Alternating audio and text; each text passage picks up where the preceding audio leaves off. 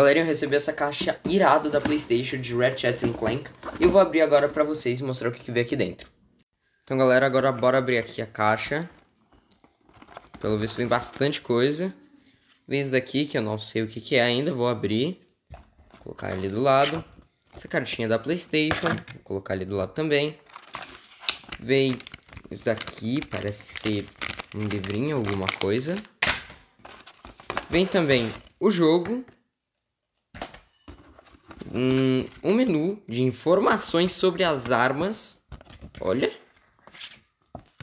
Mas eu já vou mostrar tudo bonitinho ali pra vocês.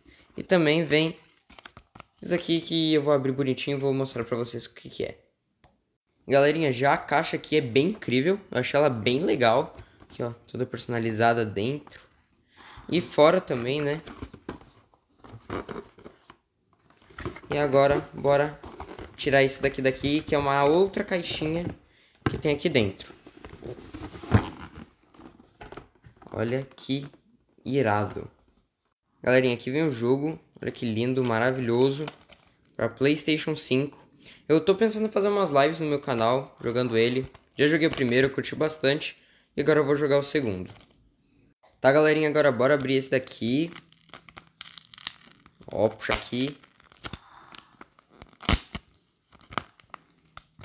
Vamos ver o que vem dentro aqui desse pacotinho roxo. Inclusive, pacote muito bonito. Vamos lá. Pegar aqui, pelo visto, são vários adesivos. Muito lindos. Que legal. Vou colar no meu Playstation depois. Olha que irado. São bem bonitos. Ó.